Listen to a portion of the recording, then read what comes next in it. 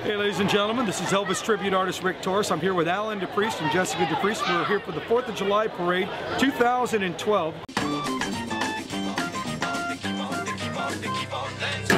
This is a time of the year when all Americans, no matter what country you're from, can come together in one voice and say, we are, we are America. We do a very realistic show.